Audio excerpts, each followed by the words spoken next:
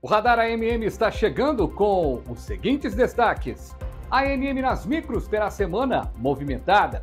Evento será realizado em quatro microrregionais com informação direcionada para gestores e servidores locais. Mobilidade urbana, que polua menos, é o desafio apontado por especialista em um webinário da AMM sobre sustentabilidade.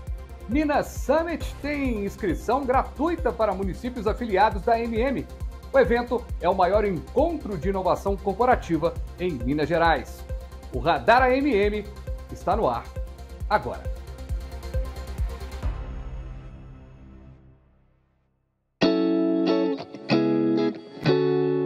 O Grupo Projeto expandiu está com uma nova sede. São mais de 500 colaboradores trabalhando para continuar oferecendo soluções integradas e inovadoras. A empresa proporciona vários serviços nos segmentos de projetos de engenharia, meio ambiente, saneamento, recursos hídricos, gerenciamento de obras, investigações geotécnicas e prospecções geológicas, ensaios de solos em laboratório e em campo. Além de plano diretor, plano de saneamento básico e plano de mobilidade urbana. Conheça as empresas do Grupo Projeta.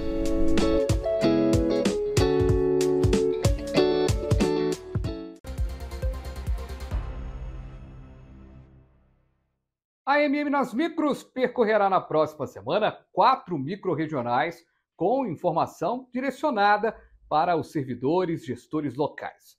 O evento estará em quatro cidades: Patos de Minas, na segunda-feira, dia 26, Paracatu, na quarta-feira, dia 28, quinta, dia 29, em Sete Lagoas, e no dia 30, o evento chega a Congonhas.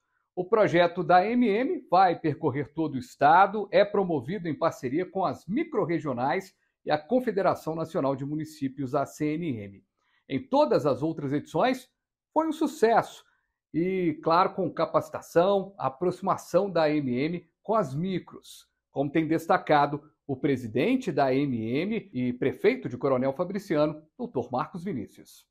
Quando a gente idealizou a MM nas micros, foi justamente para descentralizar a questão da administração pública e a experiência do dia a dia na prática de gestão. Então, trazer toda a nossa equipe técnica uh, para, o, para as nossas micro-regionais aproxima mais. Você imagina você levar aqui de 10, 15, 20 municípios, 300 servidores para capacitar é, em Belo Horizonte. Então é muito mais simples a gente trazer estrutura é, para micro, para micro que a gente está fazendo o evento. Mobilidade urbana e descarbonização, união necessária para cidades sustentáveis, foi tema do webinário da MM realizado nesta semana. O diretor executivo para a América do Sul do ICLEI, Governos Locais pela Sustentabilidade, Rodrigo Perpétuo, lembrou que mobilidade urbana que realmente polua menos é um tema que deve ser encarado como um grande objetivo ambiental. Só que isso ainda está longe de ser uma política colocada em prática na maioria dos municípios do Brasil. Se nós olharmos os planos de mobilidade dos municípios mineiros, nós não vamos encontrar nesses planos uma perspectiva de metas de redução de emissões de gases do efeito estufa graduais e que possam é, zerar essas emissões ou neutralizá-las aonde não for possível. E a MM apoiou essa semana o primeiro encontro regional de meio ambiente em Jaguaraçu, promovido pela prefeitura do município. O assessor técnico de meio ambiente da MM, Licínio Xavier, participou do evento ao lado do prefeito de Jaguaraçu, Márcio Lima de Paula, quando representou o presidente da entidade e prefeito de Coronel Fabriciano, doutor Marcos Vinícius. Para incentivar o empreendedorismo dos gestores públicos de Minas Gerais, a MM apoia o Minas Summit 2023, oportunidade para a criação de novas ideias, fomento do empreendedorismo e conexão com diferentes comunidades. O evento será na próxima sexta-feira, dia 30, no Minas Centro, em Belo Horizonte, com uma agenda de palestras, workshop, network e espaço para exposição.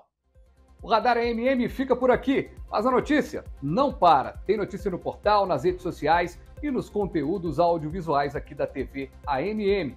Esse programa é produzido por toda a equipe de comunicação aqui da Associação Mineira de Municípios. Bom fim de semana e até o próximo Radar.